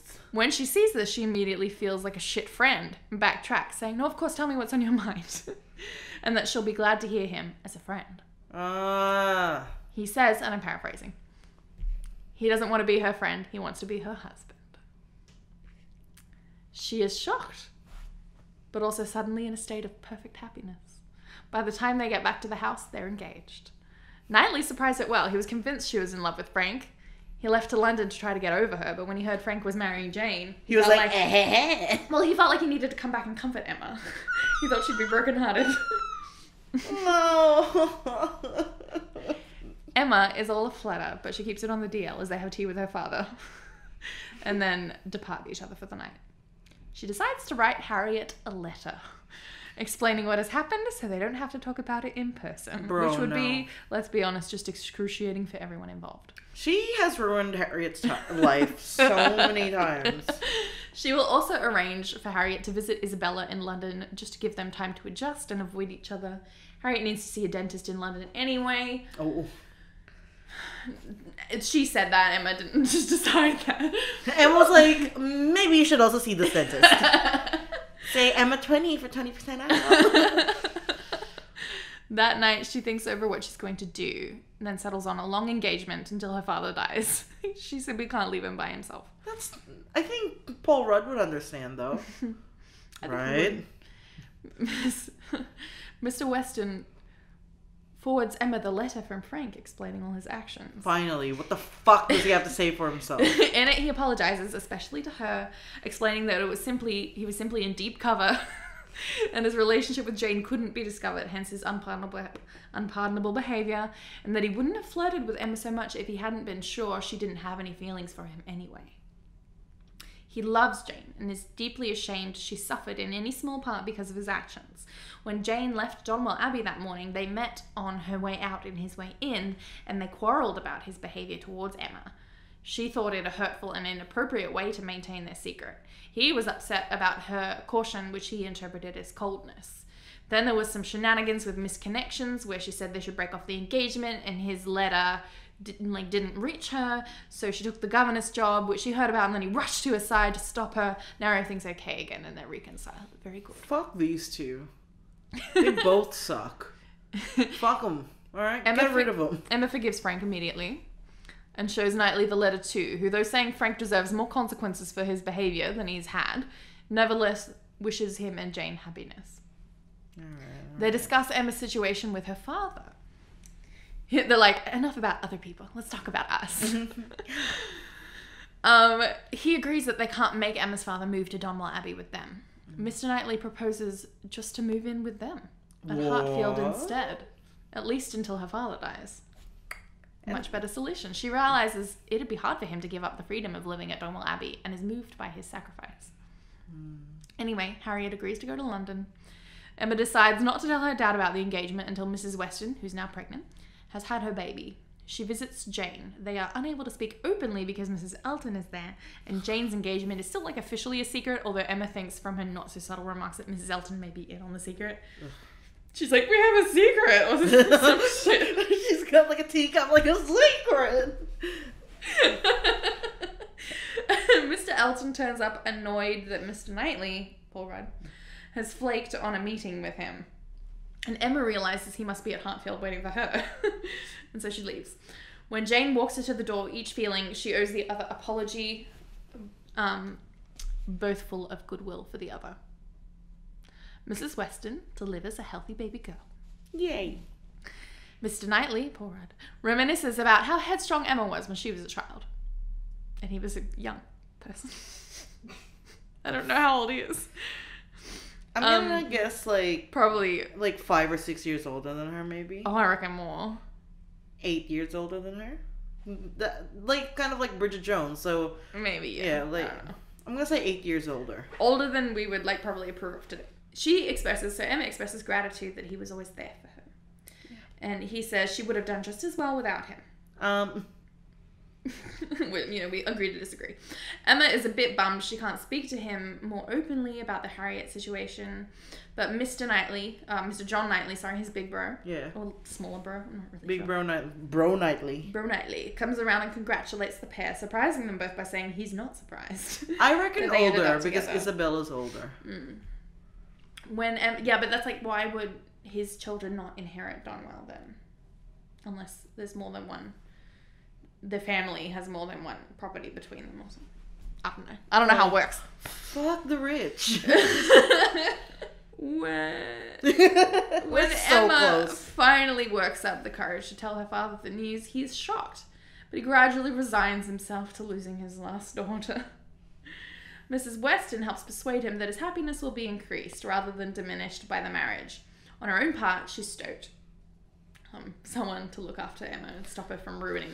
They get married. Where would they live? His house? Because she gets that He house. when says he he'll move into her house. I know, I know, but Oh, after the dad dies. Yeah. I think his. but what is gonna happen to her house? Rent it out. Oh yeah, Fuck the rich. I don't know. fuck the rich. I Whatever know. they want, I guess. Um, soon enough, Emma and Mr. Knightley are the talk of Highbury. Only the Eltons aren't pleased. Ah, fuck them. Knightley soon has news for Emma. Harriet is going to marry Robert Martin after all. Yay! Knightley had sent Robert to London with a package for his brother and a package for Harriet, am I right? well, Harriet was there, and they begin to spend time together again. Knightley worries. At least Alana liked my joke.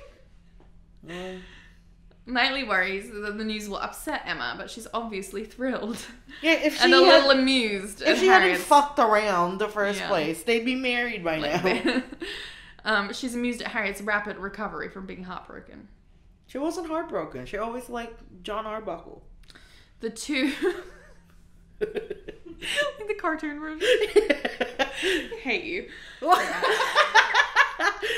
The two go to visit the Westons and find Frank and Jane there. At Oh, first, her meeting with Frank is awkward, but soon the four of them are easy and joking with each other. Although Emma is further convinced by the meeting of Knightley's superiority to Frank. Good. When Harriet gets back from London, Emma is delighted to see her so happy. Her parentage has at last been revealed. Her father was actually a tradesman, making her a perfect match class wise for Martin. Thank God. Emma receives Mr. Martin at Hartfield, but realizes that her intimate friendship with Harriet must change into a calmer sort of goodwill now that their social positions are so different. What? So I guess we didn't learn anything. Harriet and Mr. Martin are the first of the newly engaged couples to marry. Then um, Emma and Knightley, and then Jane and Frank. Emma would like to be married in October, but it seems Mr. Woodhouse would never agree because the weather It's too cold. and man. health reasons. But when Mrs. Weston's poultry house is robbed, Mr. Woodhouse is eager to have Mr. Knightley in the household for protection.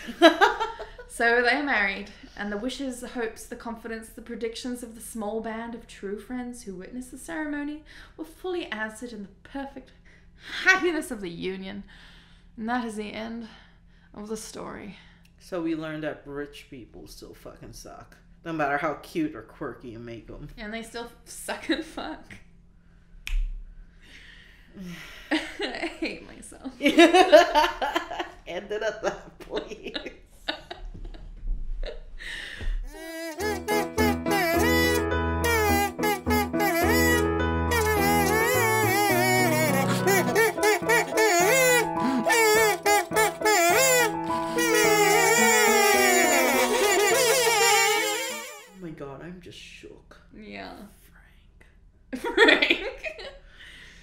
You should really watch the movie now. You can. You don't have to wait for me.